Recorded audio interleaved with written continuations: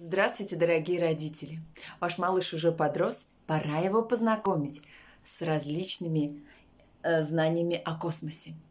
Эта книжка называется «Звезды», она входит в серию «Космические сказки». Из этой книги ваш малыш узнает очень много интересного о звездах. И ждет его в этой книжке вот такой герой, маленькая звездочка.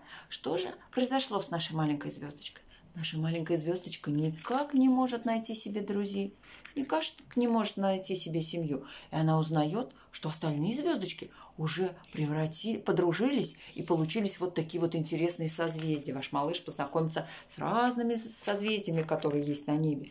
Например, вот есть такое созвездие, которое называется Большая Медведица, Малая Медведица.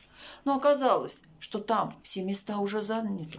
У Большой Медведицы даже есть хвост – и никак наша маленькая звездочка не может найти себе место и ни с кем подружиться.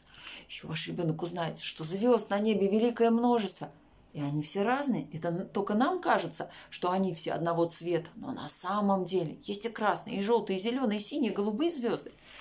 И все они тоже не особо спешат подружиться с нашей маленькой звездочкой. Еще наш малыш узнает, что со звездами на небе происходят самые разные приключения. Оказывается, что они могут меняться, они могут расти, они могут разгораться еще сильнее. Что же происходит с нашими звездочками? Они могут сливаться в одну звезду а могут даже гаснуть. И что же происходит со звездой, которая погасла? Она может превратиться вот в такую черную дыру. И малыш узнает, что такое черная дыра, как она засасывает все вокруг.